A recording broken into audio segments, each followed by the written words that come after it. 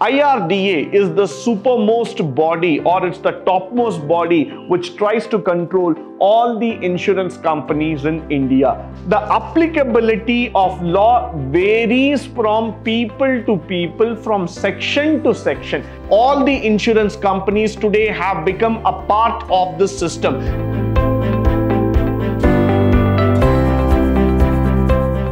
Good morning and welcome to the session 7 of Principles of General Insurance. In this session, we are going to talk about the regulatory framework of GIC India. That's the General Insurance Corporation in India. Now, GIC is supposed to be the largest company in terms of general insurance and they have been quite there for some time in terms of protecting the assets and the property of various organizations. So GIC is supposed to be the oldest and they are also supposed to be the biggest in terms of involving into this business. So let's go forward and try to understand the entire regulatory framework that is available for the General Insurance Corporation of India. Now, moving forward. If you look here, the history of the GIC.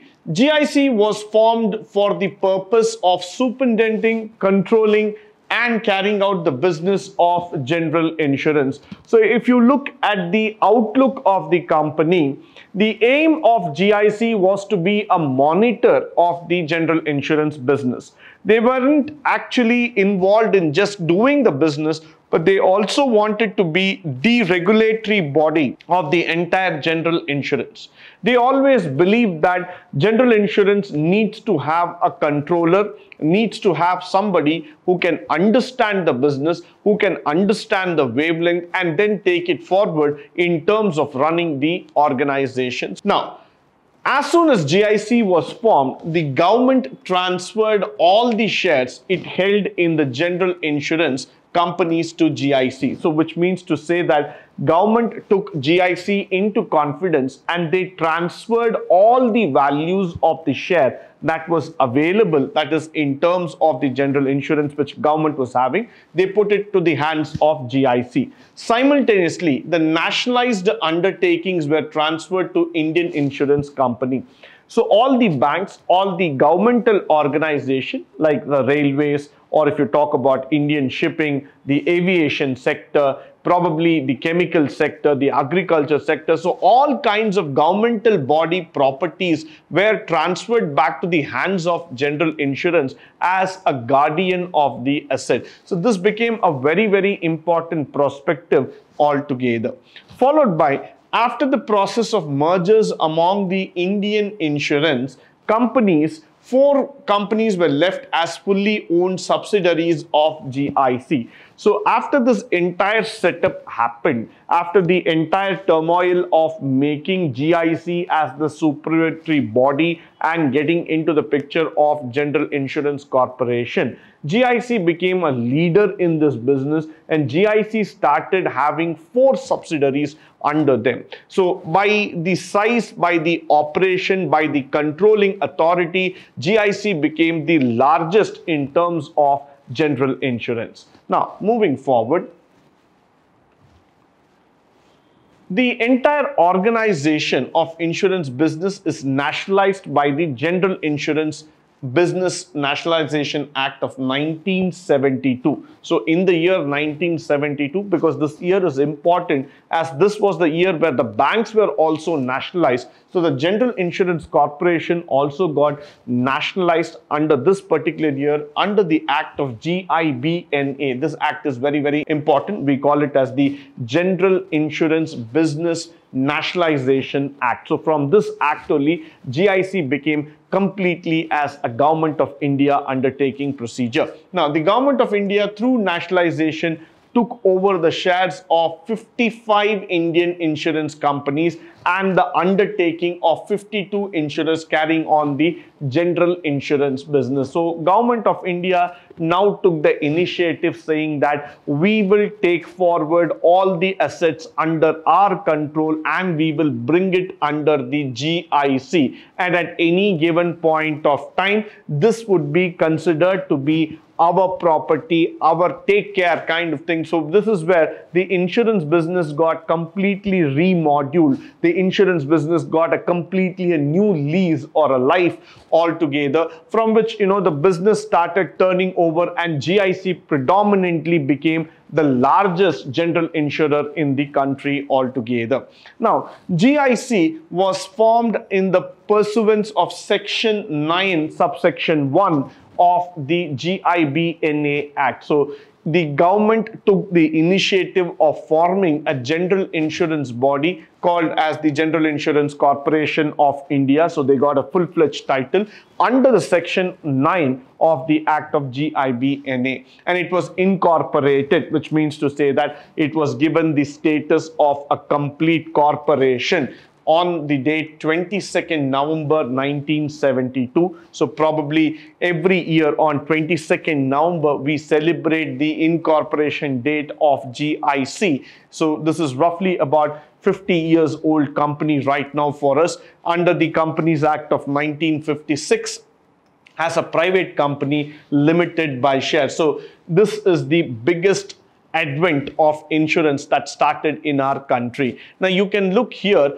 GIC was actually given a separate status of an insurance company who is going to take care of all the factors, that is all the insurance matters, all the properties, everything is going to come under them. And that's how the entire ideology of General Insurance Corporation became even more interesting altogether. So this is how they have taken into confidence, they have taken into account how to build the entire system. So GIC going forward became a separate company, a private company holding its own shares and it has got all the government assets under its control.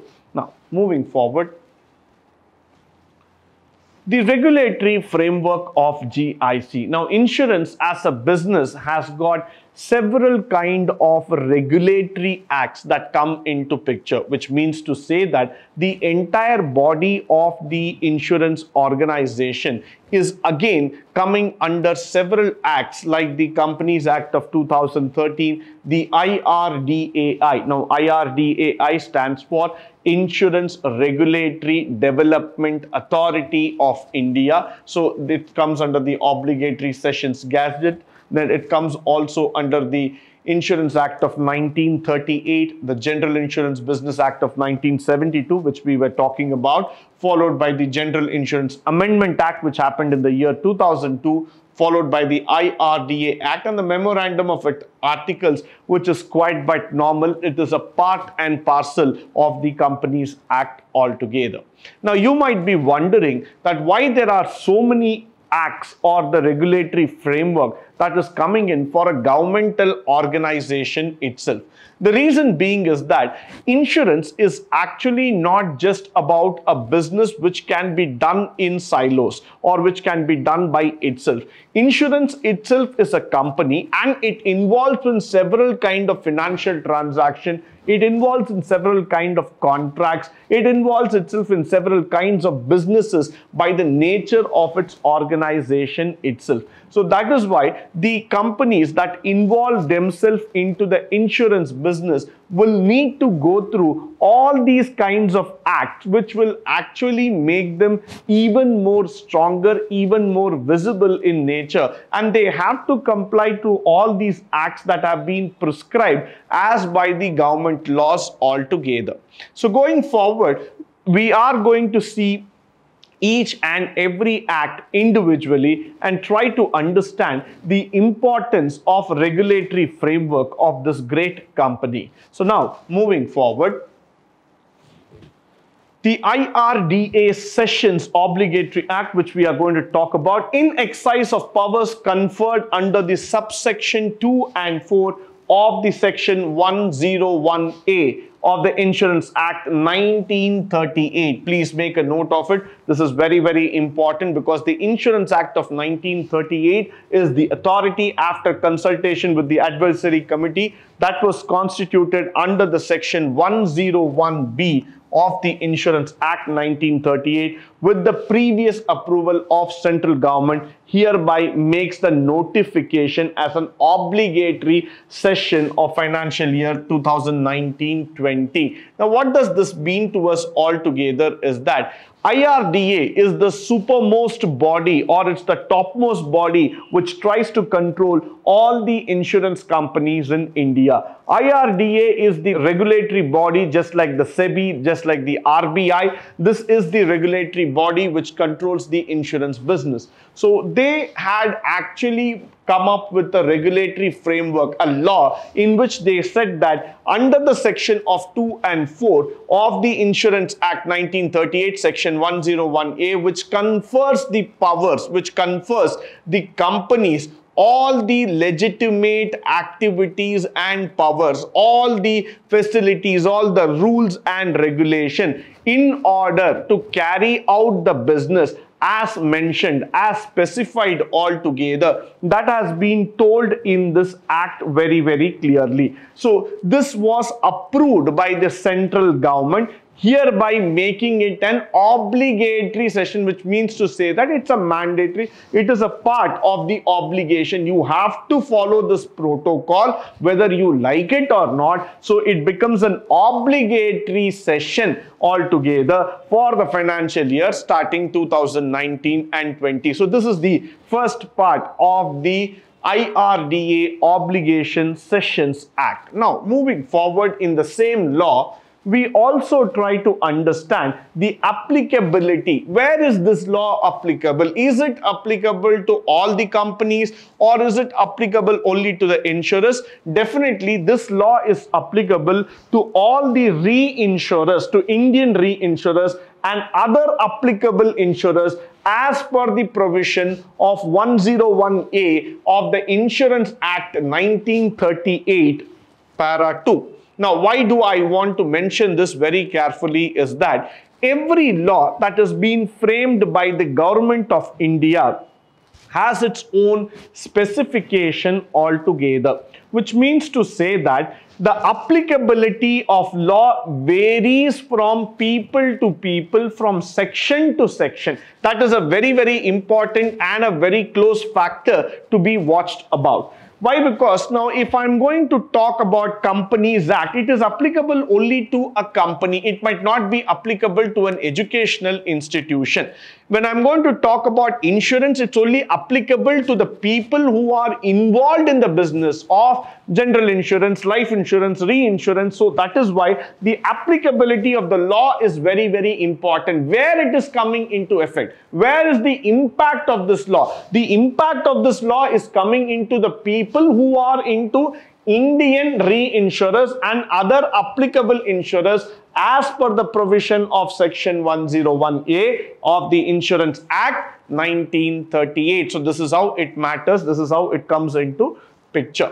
Now, percentage of cession. This is very, very important. The percentage of cession of sum insured on each of the general insurance policy is to be reinsured with the Indian reinsurers, which means to say that the percentage at the rate, what percentage of the sum of has to be reinsured shall be fixed at 5%. So this is very, very important. What is the obligatory sum insured? So that much percentage has to be reinsured with the Indian Reinsurance Act. That is about 5% in respect to the insurance attached during the financial year beginning from 2019 to 31st March 2020 that is up to this current year except for the terrorism premium now this is a separate thing premium ceded for the nuclear pool wherein it would be made nil. So in the case of terrorism or in the case of nuclear act or in the case of factors that are leading to any other which is not mentioned here. Now those things will not be a part of the obligatory cession altogether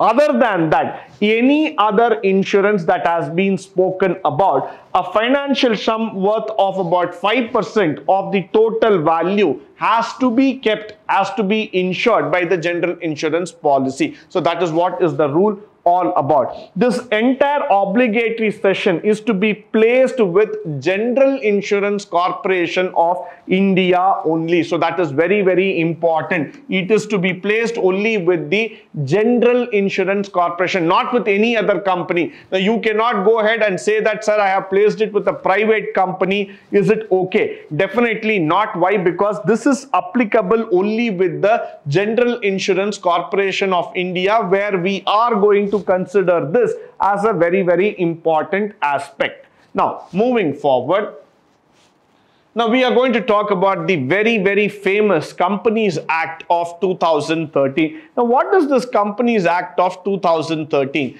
Everybody knows the provision that has been made in this act shall apply to companies incorporated under this act. So GIC is also a company and we know that it was incorporated on 22nd November 1972 as a private company by the government of India. So very much it is incorporated under this act or under any previous company law. The only thing is that it was incorporated at that point of time. It was Companies Act of 1956. Now it has been amended to 2013. But yes, GIC was also being placed as a private company given a status by the government of India as an incorporation. Now insurance company except Insofar said provisions are inconsistent the provisions of the Insurance Act of 1938 or Insurance Regulatory Development Authority of 1999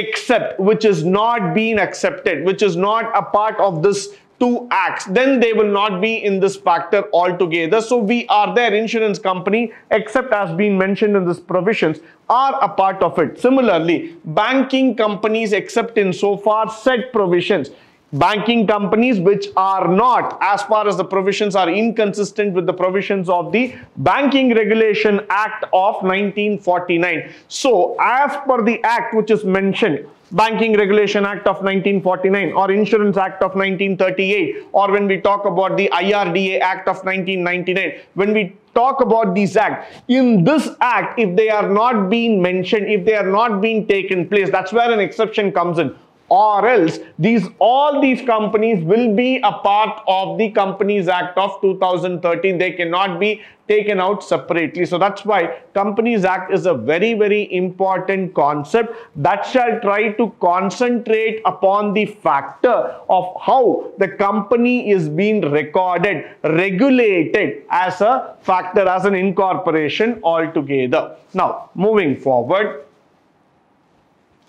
Companies Act continuing, we will also talk about companies engaged in the generation of supply of electricity except as that has been told by the Electricity Act of 2003. Suppose if they have mentioned some exceptions, then they will not come into it. Any other company generated by any special act for the time being force insofar. Suppose for example, under some special act, a company is being created which is taking a deviation out of the Companies Act of 2013 which is not mentioned as per the law, which is not being governed as per the law, then only we will not be including them other than that any other normal company any other normal regulation shall be considered very much under the companies act of 2013 so that's why such a body corporate incorporated by the act of being in force as a central government may by notification will specify that on behalf subjected to such exceptions modifications or adaptation as may be specified by the notification. Now, there are times when the government will go ahead and mention certain companies or mention certain specific rules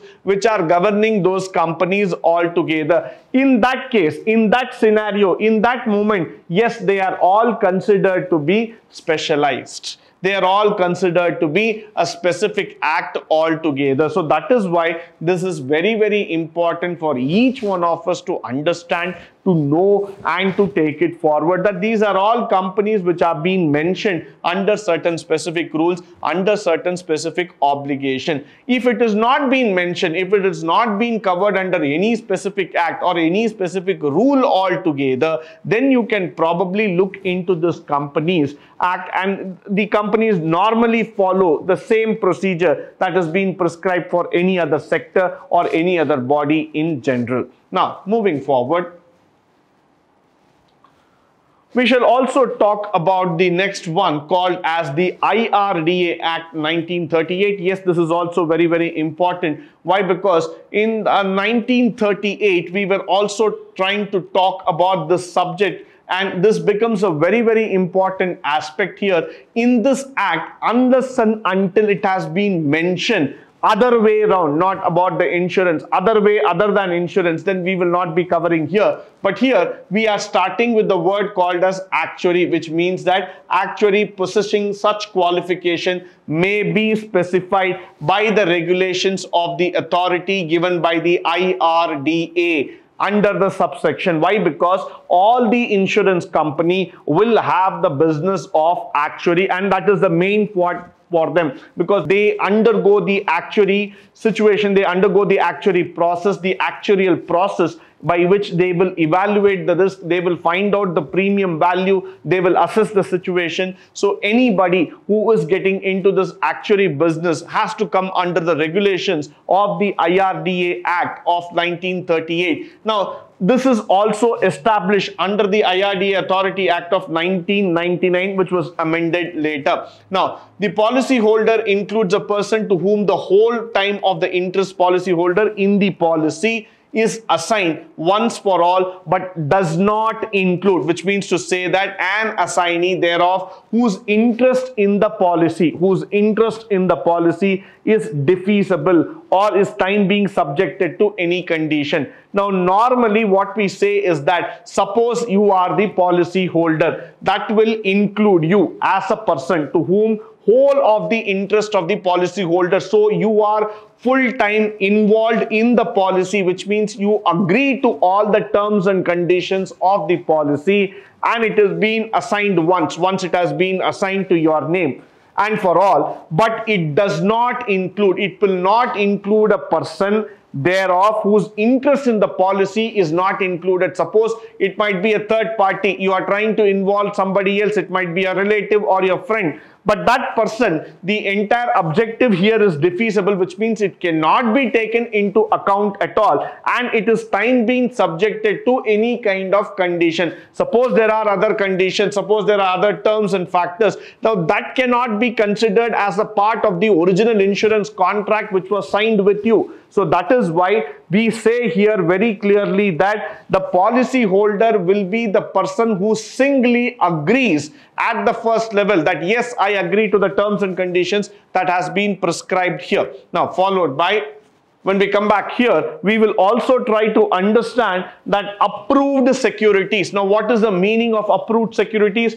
Government securities and other securities which have been given the consent by the central government of India and the state and guaranteed fully in terms of the principal and interest by the central government. Now there are many government companies which have been also trading in the stock market like BHEL, Bharat Electronics Limited, Bharat Earth Movers Limited, BEML. Now you can talk about HAL. These are all government companies which are being created BPCL, Bharat Petroleum Corporation, or you can talk about HPCL, Indian Oil. All these companies are being created under the Government Act. So all these companies which are being created, they have an approved security, which means Government of India is approving those securities. They are giving the vouching for that factor that yes, they are approved by the central government. You don't have to worry about them. You can entrust your ideology into it. That's no problem. It has been approved in terms of both principal and interest by the central government. So it becomes very, very important at that point of time. Now, any other debentures or securities for money which is being again issued under the government of India which means the legislature the approval on behalf of the trust of the corporation altogether must be given under the proper guidance, which means they have to be given under the proper guidance. Say, for example, trust in that presidency, in that town, in that corporation altogether. So this is where they have to take into confidence and they have to do the business. So this becomes very, very important for all of us. It becomes highly important at this juncture to understand that whatever might be the nature of business, whatever might be the investment that comes in, they have to be approved by the state government, by the state authority. Then only we will say that these are approved securities or debentures. Similarly, shares of a corporation established by law and guaranteed fully by the central government or the government of a state where the repayment of dividend principal and interest is always guaranteed. Now, this is also important. There might be lot of state holding corporations like the LIC. Now, Life Insurance Corporation of India is a state-owned company or an organization by itself. So, in that, suppose these companies are investing, they are going to put the money or they're going to take any kind of interest into it in terms of acquiring the shares or anything. Again, we go by the factor saying that the shares of the corporation are approved by the government of India.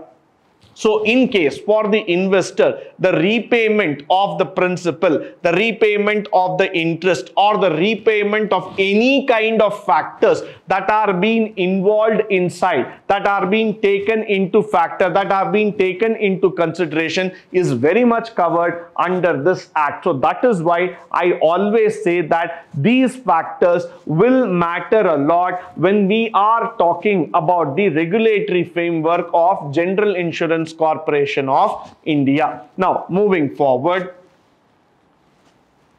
the General Insurance Business Act, which we were talking about of the year 1972, this is very, very important. Why? Because based on this law, based on this act only, the company itself got incorporated. So the act might be called as the General Insurance Business act that is the nationalization. Now let me just go through that word nationalization which means to say that it is a government of india undertaking. The government gives the approval. The government takes the responsibility that this company at any point of time will be given assurance by the government. So in case if there is going to be a default in case there is going to be any problem the government gives the backup saying that yes i will take care of the investors. The money money will not go anywhere. So the government gives the authorization, it gives the factor saying that yes, I give the approval all toward and it is hereby declared in this act for giving the effect of policy of the state towards securing the principles specified in that particular clause C of Article 39 of the Constitution. Now, what is the explanation for that? State has the same meaning in the article and the declaration of the policy under the section 9. So, under the section 9, it has been clearly de defined what is a state under what act it is coming in. So, what are all the approval guidelines? Where is the government giving you the assurance? All these factors have been mentioned under this Business Act of 1972. Followed by, we are also going to talk here about the various act. This is quite, you know, theoretical explanatory and elongatory in nature. Why? Because this requires a little bit of understanding for you in terms of the legal framework that comes into picture. Now, one of this thing is that in this act, unless the contest otherwise requires definitions, that is acquiring company. Now, let's look into that, which means any Indian insurance company where a scheme has to be framed involving the merger of one Indian insurance with another. That is, now we are going to talk about amalgamation of two or more such companies, which means to say that an Indian insurance company in which any other company has been merged or has been formed as a result of amalgamation. Now the word acquiring a company also has been very very clearly mentioned and specified here which means to say that at any given point of time suppose an Indian company is going to acquire another insurance, Indian insurance company, which are, you know, they're going to merge their schemes, they are going to merge their company, their procedures and their system has to be mentioned as per this act. Only they can then take that particular factor. Now, appointed day means such a day which is being later than that 2nd January 1973 as per the central government by notification. So it says that in section 1 of 1956 Companies Act, it means companies and corporation of the General Insurance Company of India which has been incorporated. So as I told you on 22nd November 1972 this company has got incorporated. And not before 2nd January 1973 after that they have become a complete independent body. They have been ruling the general insurance business by themselves. So it becomes a statutory body by itself which will take care into the insurance business and be governed by the rules and regulations of the act which is being mentioned under this section 9. Now moving forward the General Insurance Amendment Act which happened in the year 2002. What was the amendment altogether? In short, the commencement, this was also called as the amendment which means we are trying to bring in some changes from that 1972 and it came into force in the year 2002 this was given a government approval. That's why it was printed on the official gazette altogether. So that is where this becomes an approved word from the government of india saying that this has come into force this has come into an appointment altogether followed by now, what does this Amendment Act say in the year 2002 is that the amendment said that hereby the 1972 Act is going to be referred as the 2002 Act and if there is going to be any form of the business that is going to be mentioned, that is about the nationalization and other factors, they are going to be covered under the Act of 2002. So we are not going to refer back to 1972, but we are going to refer back to the 2002 policy altogether where the words of superintending, controlling, carrying words of the general insurance has been taken forward and the words of carrying on reinsurance business has been substituted. So they removed the words called as superintending, controlling, carrying and other factors of general insurance and they have replaced with this word called as carrying on the reinsurance business. So we are no more going to be that big words of controlling and other factors and in the subsection they also say that provided that the central government may be in notification increase or reduce the authorized capital or the other factors that is being subscribed in case which it feels to be fit. So what we try to say here is that in the 2002 we bought in certain change in the words of the general insurance, the body, the title of the general insurance followed by if there was any reduction or addition of capital needed or some changes needed in the overall structure of the company. The company would feel right or the company would feel fit at that point of time. That was brought into action. That was brought into the picture altogether. So that is why we claim that this particular act was very, very important at that given point of time, which made some changes altogether in the business, in the activity. Now, moving forward, the IRDA Act of 1999, which is very, very important. It's also an amendment, which means to say that the chairperson, during this act, we also establish words like authority, chairperson, who is the regulatory authority, what are all is being constituted here, what is the factor that has been brought into it, and the central government resolution that has taken place in the year 1996 intermediary, reinsurance, all these words have been bought inside. The IRDA forms the central body, so whatever they bring in here is the final word in terms of the building of central government. They have also bought in the word member, which means he is a whole-time or a part-time member or a director of the IRDA altogether. That includes the chairperson. Chairperson is already designated as the head of the IRDA committee and there has been regulations prescribed words that has been bought as a part of the IRDA Act 1999 in order to make the system even more clear, even more precise and they have been doing a great job in terms of controlling the investment in insurance companies. They've also been looking into the FDIs that are coming into insurance and how the insurance company need to process the claims and take it forward. So in case if there is going to be any mismatch about the scheme, mismatch about the words that are being used by the insurance company, you can raise a complaint to the IRDA and they would be the compliance officer looking into the changes and looking into the charges that have been applied against the company. Now moving forward, the IRDA Act also tries to talk about the expressions which were not mentioned in 1938 or the Life Insurance Corporation Act of 1956.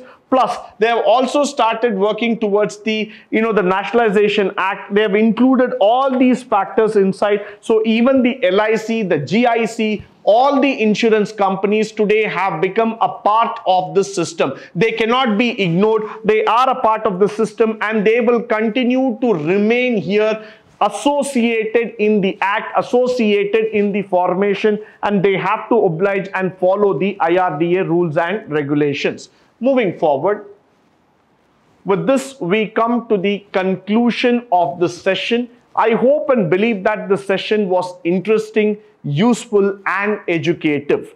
In the coming session, we are going to look into the GIC as a body, as a management organization itself. Though it is a very large organization, though it has got different kind of business, but then it is quite interesting also to understand how they have been formed and what is the nature of business that they are doing in India. Until then, Please stay tuned to this session. Please listen and understand the session very, very clearly. All the concepts that have been mentioned in the insurance is very, very important for you. Thank you once again for joining me on this wonderful session today.